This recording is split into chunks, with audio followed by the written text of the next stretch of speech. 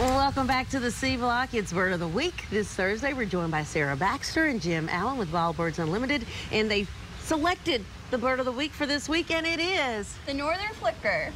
Uh, we had a really great photo sent in by a couple from Hot Springs Village, um, and it's of a flicker that is hanging out on a feeder. And mm -hmm. this something like this suet feeder right here will attract flickers to your yard. A flicker is. is. a type of woodpecker, and they're very common here throughout the year. Yeah. And um, and they really like suet, and they're easily identifiable by those spots on their belly. Yeah. and also when they fly, they have a white patch on their rump. Mm -hmm. So. And that was Bob and Carol from Hot Springs Village. Congratulations for getting yours picked this, is this this week. a smaller woodpecker? No, he's no, a good size woodpecker. woodpecker. Okay. Mm -hmm. Yeah, he looks kind of big he's in that. There it is, and there was, yeah, I guess. He's bigger than a robin. Kind of like a mourning dove, almost mm -hmm. small mourning dove. Okay. Mm-hmm. Okay. Yeah. Love the colors, and I love that speck of Oh. Was that orange or what would you call no, it? it's red. It's, it's like, like, a rusty red. Rusty yeah. red. Oh, they're so. beautiful birds. Mm -hmm. is this the time of the year we would see them, or do we see them all the time in Arkansas? Or uh, all Sarah? the time in Arkansas. I'm trying to ask mm -hmm. as many hard questions as I can. Sarah. all the time you in can't Arkansas. Stop, Sarah. I bet no, I, I don't know about that. but this is a good time of year where it's, you know, Valentine's Day, so we can talk about loving our birds. Everybody loves their birds, and it's really fun to try and attract them to your yard. And this weekend, there's an event coming up that is perfect for that. Um, and giving you a little focus when you're looking at your birds. It's called the Great Backyard Bird Count. And it's an event where you just pick any spot, usually people do their yards, but it can be anywhere, and you count every bird that you see and identify it for 15 minutes. Huh. And you just write it all down and you turn it into the website, www.birdcount.org. Okay. And um, and there you go. And then uh, you're con yeah. contributing to the greater body of science That's in that way. Sarah, I can see where that'd be a bit of a challenge if, you, if you've got a flock of uh, sparrows and they all look the same. I'd be like, yeah, I just had one. 30, 35 exactly. sparrows. Well, I think right, Jim's got some well, stuff to help us out with Well, that's that. a good, that's a very good point, and that's why we have uh, today kind of as examples of some bird books mm -hmm. that will allow you to uh, know what you're looking at out in your yard.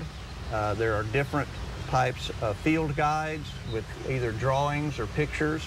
And I was going to say, for me, because I'm, you know, mm -hmm. challenged on this. So what would you do? You just kind of look at the picture, and then, or is it?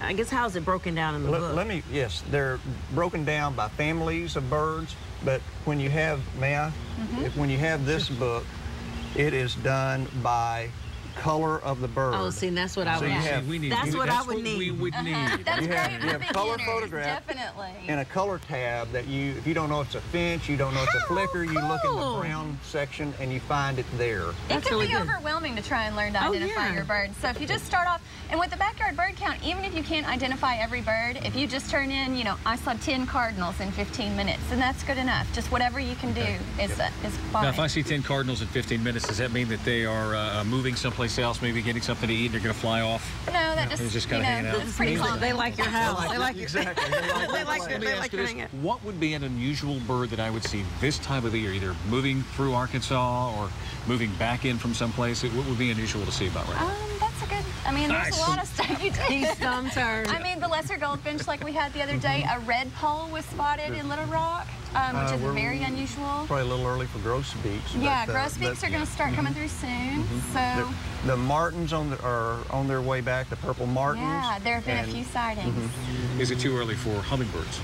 Mm, usually, yes. For I the ruby throats that are migrating through, there were a couple that overwintered here. Um, yeah. Okay.